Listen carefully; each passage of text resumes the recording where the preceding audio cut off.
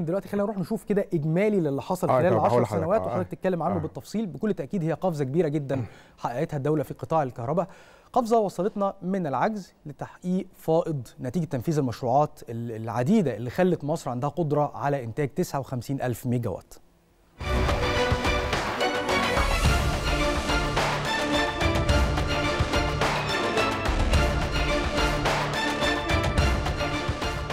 قفزة كبيرة حققتها الدولة في قطاع الكهرباء جعلتها تنجح في التحول من عجز توليد التيار بمتوسط عجز يومي 6000 ميجاوات عام 2014 إلى تحقيق فائض نتيجة تنفيذ المشروعات العديدة التي جعلت مصر لديها قدرة على إنتاج 59 ألف ميجاوات.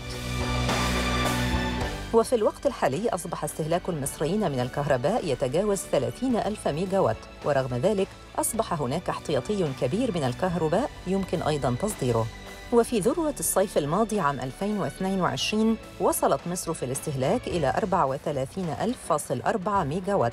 ومع ذلك كان هناك فائض احتياطي من التيار بلغ 14 ألف ميجاوات. وفي الصيف الحالي 2023 من المتوقع أن يتجاوز إنتاج التيار 35 ألف ميجاوات. ونتيجة لذلك لن يحدث أي تخفيف أحمال نتيجة الفائض في الكهرباء.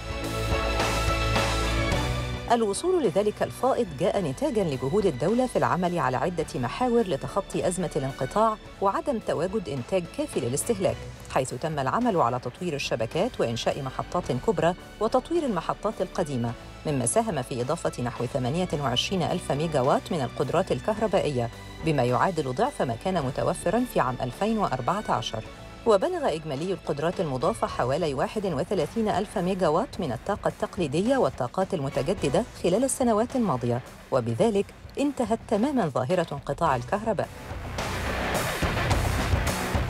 وفي تقرير لوزارة التخطيط والتنمية الاقتصادية تم الكشف عن أن النتائج الاستراتيجية في قطاع الكهرباء تتمثل في تحقيق 116% معدل نمو في صادرات الطاقة الكهربائية إلى جانب تقدم مصر 44 مركزاً في مؤشر جودة التغذية الكهربائية فضلاً عن تحقيق 198% معدل نمو في القدرات الكهربائية وتقدم مصر ستة مراكز في مؤشر جاذبية الطاقة المتجددة.